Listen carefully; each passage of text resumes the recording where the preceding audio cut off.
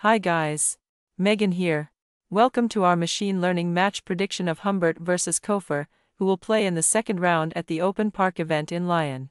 The current head to head score is 1 to 3.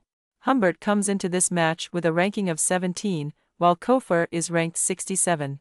Of their last 10 matches played, Humbert has won 5, while Koepfer has won 4. The MatchStat.com prediction algorithm uses about 190 variables.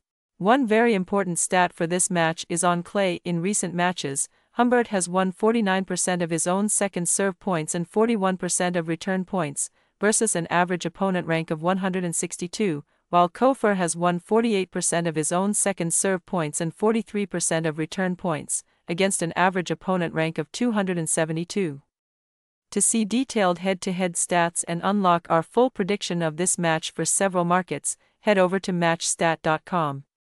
Our predictions also include odds, so you have access to the best value bets available. See all predictions for today's matches at MatchStat.com.